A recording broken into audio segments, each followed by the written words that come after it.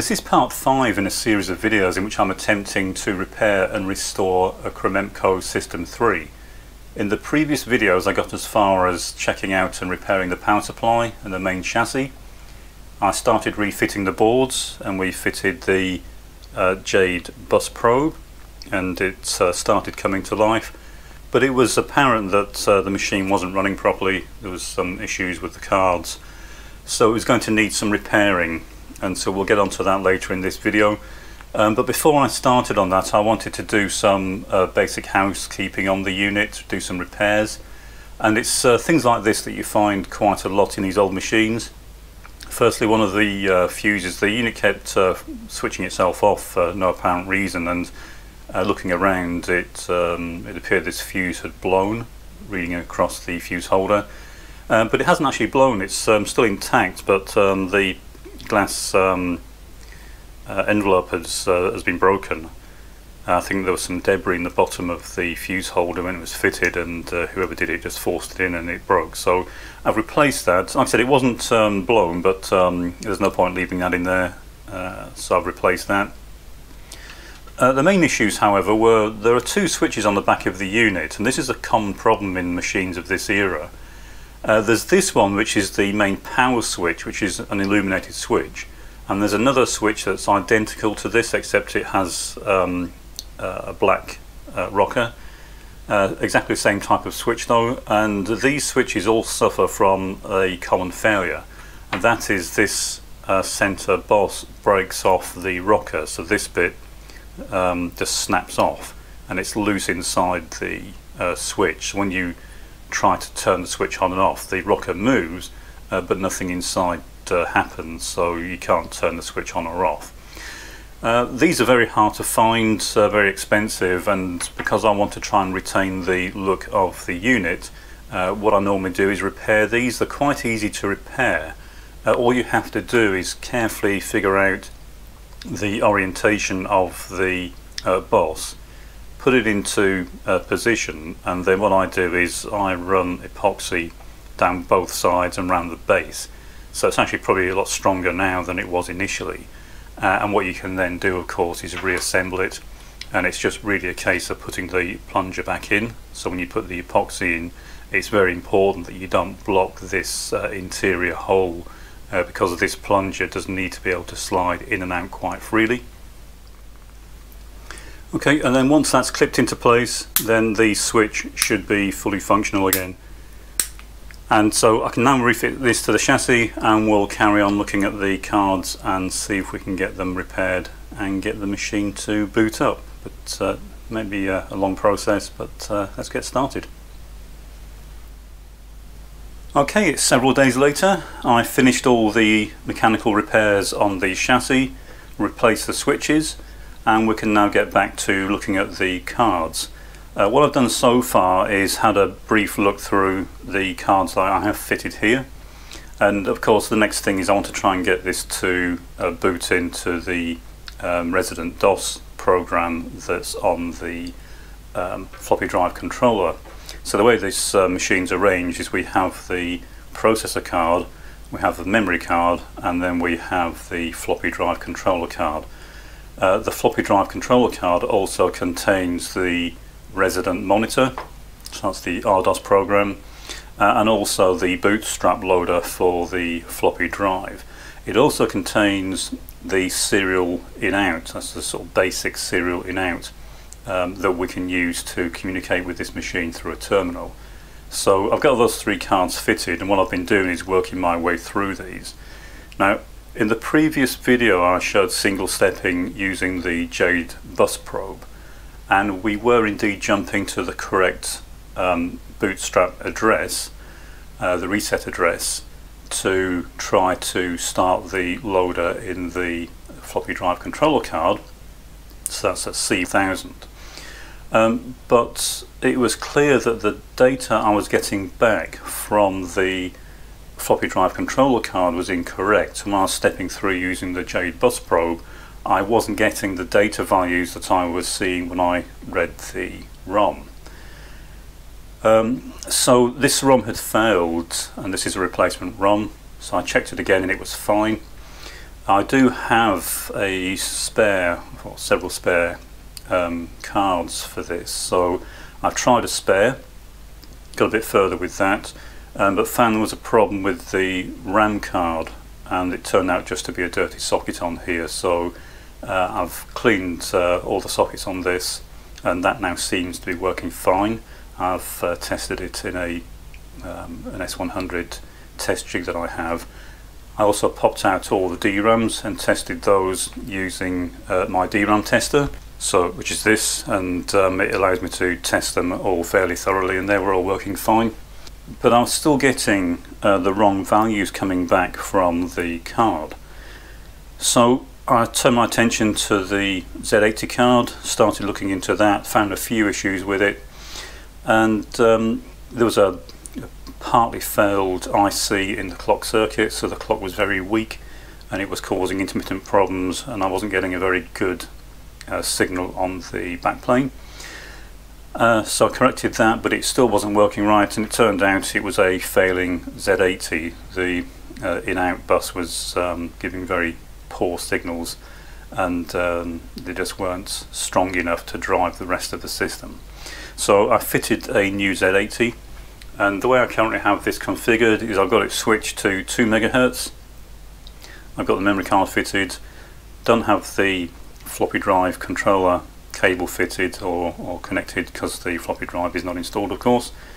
What I'm doing here is just trying to boot to RDOS which is the resident um, program that's on the floppy drive controller card. I've tried this with the original card that came with it and it doesn't work and what I did is spent quite a lot of time with the logic analyzer connected. It's quite a nice machine for doing this because you can move the card right to the front and then connect through the aperture at the front. So I connected the Z80 to the logic analyzer and then started single stepping or, or doing what I normally do, you've seen me do in previous videos of running the machine and then capturing data and seeing what's going on. And uh, it was clear that there was a fault on the original floppy drive controller card. So I swapped it out with a spare one that I have and we'll now try and boot to this one. The way I've got the uh, cards configured is it's going to try to boot to the RDOS program or monitor I should say within the floppy drive controller card. It's not going to try and boot to CDOS which is the program that would normally reside on the floppy drive. So we should get uh, RDOS coming up and I'm going to connect it to HyperTerminal using the um, serial interface so the way I've got this uh, set up is this goes straight through to my lab PC. I've got the lab PC running HyperTerminal and it's set up for nominal serial communications uh, using the specification for the Cromemco System 3. It's not exactly right, so I won't get um, perfect communications, but it should be good enough to get the system running if it's capable of running at all. So we'll try and boot this up. So the way to boot this is you um, power up the machine with the terminal running and then you hit enter or a key on the terminal a few times. And the reason for doing that is the initial part of the code in the RDOS initializes the UART on the floppy drive controller card uh, but then it looks for incoming data and when it gets incoming data it sets the baud rate to match the incoming data, kind of an auto baud, but it requires some data to come in before the boot process will really complete on the um, in the RDOS system. If it works correctly and it gets through that step, then it will return the boot up message to the terminal program through the serial port. So in other words, we power this up, hit enter a few times on the terminal, and then if all goes well, and I've uh, so far fixed any existing problems, then we should see uh, the message being returned saying what version of RDOS we're running. Um, it's an older version on this card, this is quite an old card, so I think it's version 1.1 I've got on here. Um, looking at the Jade bus, um, it is clear we're jumping to the correct address, so it is jumping and running within the uh, C1000 loop, um, but we'll see how things go and um, I'll bring the uh, terminal program up in the corner as usual. Try booting up the machine and we'll see uh, how we get on. Okay, so as we can see, we've got um, the resident monitor actually running. So that's the monitor running from the ROM on this card. Um, and it's done quite a lot here. It's um, gone through, loaded the um, program from the um, ROM, it's got it running, and it's also initialized the UART, and it does prove that uh, quite a lot of the system is running. Looking at the indication on the Jade bus, it's also clear that the system is running to a large degree. I'll just move the camera so that you can see that. So as you can see, the system does appear to be running. And uh, what we can do now is, uh, in theory at least, issue some commands through the resident monitor to see if the system is capable of running at all. Would say at this point I don't have the in-out card fitted, I don't need that for this part of the system testing. But what I want to do now is get um, the original uh, card running. Um, this is the card that uh, belongs to the unit and so I want to go through and see if I can repair this and uh, then see if we can boot from this. I think I know what's wrong with it. So I think one of the uh, buffer devices isn't working and the reason I think that is I've looked at it through a thermal camera and one of the uh, buffers is getting extremely hot so uh, I think there's an issue with that. I also think the UART chip may have failed as well, so uh, I'll try those. I'll do it off camera. I don't want to bore you with the uh, details. It's just really going to be uh, swapping out the, the device that's getting hot and see if the new one works and then we'll try a, a replacement UART. and I'll do a, a, few quick tests with a scope and see if that resolves it and if it does I'll swap it out and we'll try and boot from that card. Okay, I've been through the cards, carried out a few repairs. We had, uh, as expected, one failed buffer chip. The UART had failed and I did find another device that had failed as well. So I've replaced those and we'll now try rebooting the machine and uh, I'll hit enter on the terminal a few times and see if um, the system will boot with its own floppy drive controller card.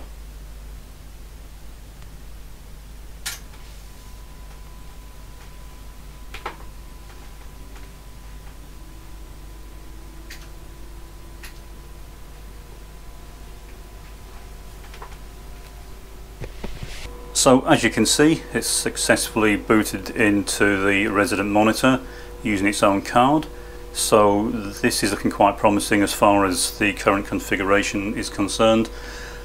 Uh, what we can do now is start looking at issuing commands from the resident monitor to see how well the system is working. Um, but I'll do that in the next video. I want to carry out a few more checks before I start um, leaving it running for too long and uh, so we've made some progress. We've got it to boot into the resident monitor. We'll do some more testing in the next video. We'll try making use of the resident monitor carrying out a few tests using that. And if that all goes well then we'll try fitting the floppy drive and see if we can get it to boot into the proper operating system